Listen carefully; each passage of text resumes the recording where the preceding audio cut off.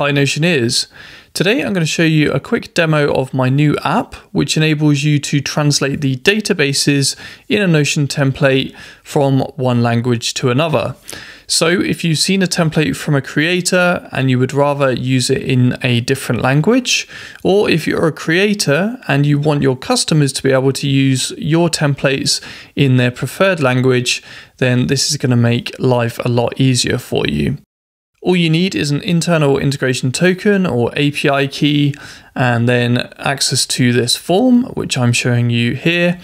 Once you've entered your API key here and then chosen the language that you're translating your template from, as well as the language that you're translating the template to, all you need to do is hit submit.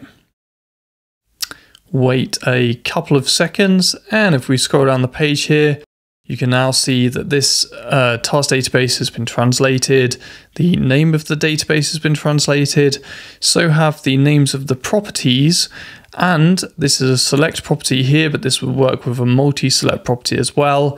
We can see that we've translated the different drop-down options in this database as well into Spanish. So we're ready to start using this template in our native language.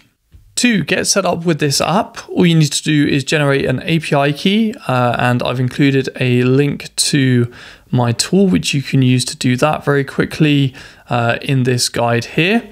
So you can just click on this link, and that's going to enable you to create the API key. I would recommend making a copy of your template uh, and then translating the copy, just in case anything goes wrong with the app. Nothing has so far, but at least that way you know that uh, you've always got a backup version if you need it. You then need to share a copy of your template with the integration. So if we go back to my task page here and open this database in full page view, then we go to connections. You can see I've got a few connections that are linked to this page at the moment. It's the template translator one though that uh, is the integration that I actually used for the translation just then. Um, and so you just need to add connections, select your integration, which would be the name of my app here, um, if that's what you've used to create the API key, um, and then you're ready to go there.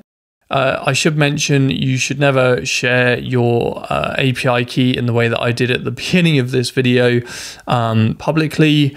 I'm going to refresh that token in a second, so uh, that won't be available for anyone to use, um, but just treat that like a password and store it somewhere safe.